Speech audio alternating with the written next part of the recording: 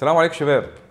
شباب إحنا النهارده هنتكلم عن شركة Dimsport الإيطالية وعن الأجهزة والخدمات آه، المتاحة من الشركة لأن إحنا أكتر من مرة يجي لنا أسئلة آه، إيه الخدمات وإيه الفرق ما بين الأجهزة وإيه مميزات جهاز عن جهاز آخر.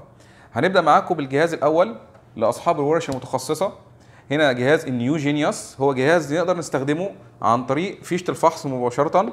عندنا هنا مثلا على سبيل المثال مرسيدس ال MP 1 وال MP 2 وال MP 3 وال OBD نقدر نعمل قراءة وكتابة بالكامل لوحدات التحكم بدون ما نفك أي شيء من الشاحنة أو من السيارة. عندنا الجهاز الثاني ده لأصحاب الشاحنات وأصحاب السيارات يقدر يمتلك جهاز يقدر يستخدمه لسيارة واحدة فقط ويعمل read و write ويقدر يعدل على سيارته ويرجعها زي ما كانت في الأول وسعره مناسب ورخيص جدا.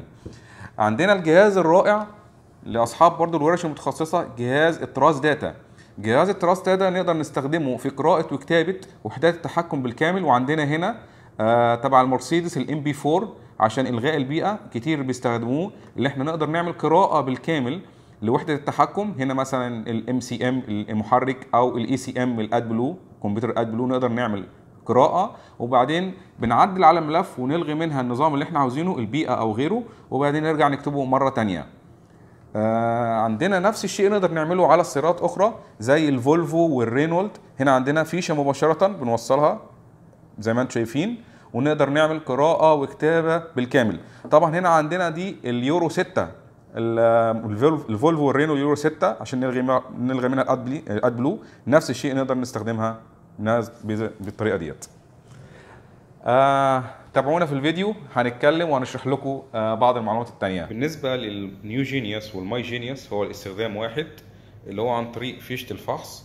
نقدر اللي إحنا نوصل مباشرة على الكنترول أو العقل اللي إحنا عاوزين نعمل له قراءة وكتابة ونقدر نعمل له استنساخ أو read و write قراءة وكتابة لملف الفلاش عشان بغرض التعديل أو بغرض إلغاء مثلا نظام البيئة. الفرق ما بين ال New Genius اللي هو بيستخدم في الورش وبيبقى متعدد ال brandات ويشتغل على أكتر من نوع من الشاحنات أو المعدات. ال My Genius ده يعتبر لصاحب الشاحنة أو السائق يقدر يستخدمه لشاحنته أو لسيارته يعني لسيارة واحدة فقط فاللي نقدر يعمل تعديل ويرجع الملفات الأصلية تاني. ده الفرق ما بين ال New Genius وال My Genius.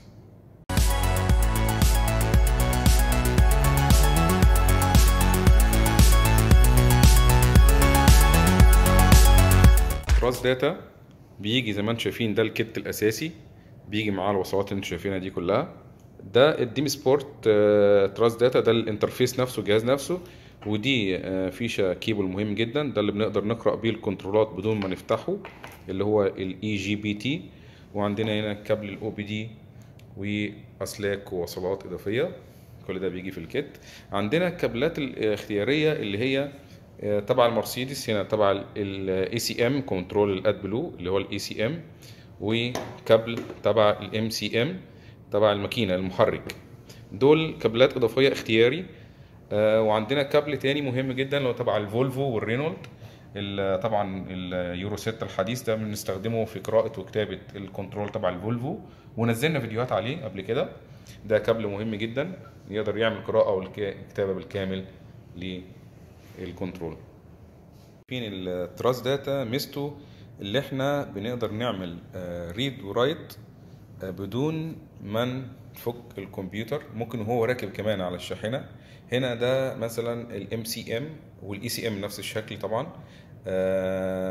تبع المرسيدس ال MP4 بنوصل عن طريق زي ما أنتم شايفين الفيشة خارجية. ونقدر نعمل read و write بالكامل. لل control. نفس الشيء هنا نقدر نعملها في الكنترولات تبع الفولفو والرينو. نفس الشيء عن طريق فيشة خارجية. بنوصل الجهاز ونقدر نعمل قراءة وكتابة بالكامل لل control. الميزة في ال Trasdata اللي إحنا نقدر نعمل استنساخ بالكامل لل control. ونقدر نلغي ال AdBlue system نظام الاد بلو أو نعمل أي تعديل إحنا عاوزينه على الكنترول. شباب آه، زي ما شفتم في الفيديو الفرق ما بين الأجهزة ومميزات كل جهاز عن جهاز آخر. أنا أحب أضيف ليكم آه شيء مهم وهو خدمة التدريب والدعم الفني. إحنا يهمنا جدا يكون العملاء بتوعنا على كفاءة عالية ومؤهلين استخدام الأجهزة ويستفادوا منها استفادة كاملة. عندنا استاف مهندسين معانا في مكتب دبي وفي مكتب مصر وظيفتهم مساعدة عملائنا على استخدام الأجهزة بطريقة آه صحيحة. آه وزي ما أنتم عارفين إحنا عندنا مركز خدمة موجود في الإمارات من أكتر من 13 سنة. إحنا بقالنا في المجال حوالي 17 سنة أو 18 سنة تقريبا. مركز الخدمة بتاعنا في برضه بنعمل فيه دورات تدريبية بنأهل فيها العملاء والكاستمرز بتوعنا. إحنا بنساعد يعني العملاء على مستوى دول العالم الدول العربية ودول الشرق الأوسط. وأعتقد في منكم اللي شاف خدماتنا. المهندسين عندنا الحمد لله عندهم درجة كفاءة عالية مؤهلين متدربين عندنا تدريب صحيح على استخدام الأجهزة. وأتمنى إن شاء الله نشوفكم في فيديوهات تانية. وإن شاء الله خلال الفترة القريبة هننزل فيديوهات تعليمية ويكون فيها تفاصيل أكتر عن الأجهزة وعن البرامج اللي بتستخدم في إعادة البرمجة والفحص. وشكرا لكم كان معكم مهندس أسامة سعيد والسلام عليكم.